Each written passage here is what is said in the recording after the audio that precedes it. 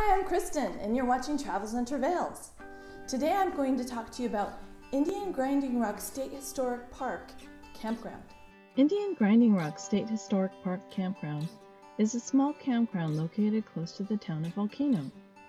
In March, as the daffodils bloom, this campground is a great launching point to Daffodil Hill.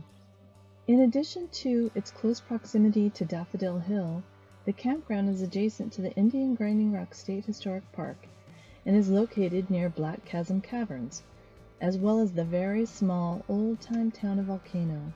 The State Historic Park showcases the cultural heritage of the original owners, the Miwok people.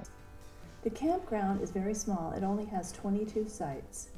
Each campsite is $30 per night.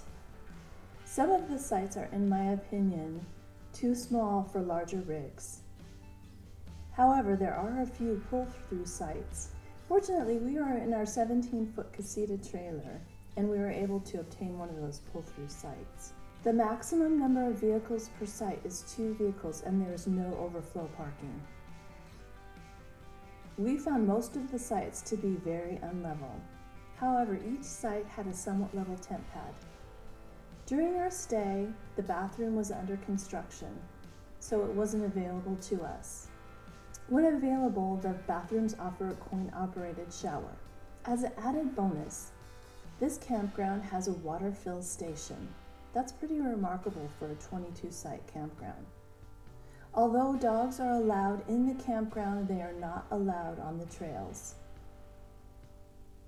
Cell phone signal on Verizon was spotty to non-existent at best. Since the campground is in a close proximity to a busy highway, there was a fair amount of traffic noise. Since we were there during a ceremony, we endured quite a bit of commotion from a visiting tribe. That said, I still believe it's a great place to camp. While you're there, visit Black Chasm Caverns.